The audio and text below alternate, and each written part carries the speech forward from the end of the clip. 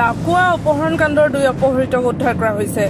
নাগালেণ্ডত অসম ৰাইফলছ আৰু সেনাৰ অভিযানত শিৱসাগৰ জিলাৰ লাকুৱাৰ আঠ নং তৈলক্ষেত্ৰৰ পৰা এখন এম্বুলেন্সৰ সহায়ত আলফা স্বাধীনে অপহৰণ কৰা অ' এন জি চিৰ তিনিজন কৰ্মচাৰীক দুজনক উদ্ধাৰ কৰা হৈছে।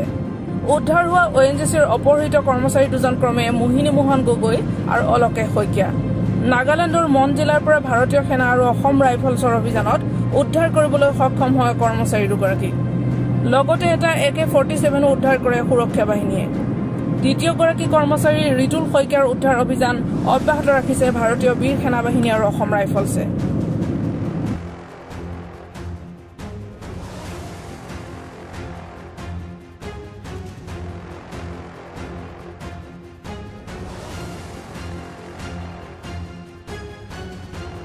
উজনি অসমৰ পৰা অমৃত কুমাৰ শৰ্মাৰ প্ৰতিবেদন পূৰ্বাঞ্চল টাইম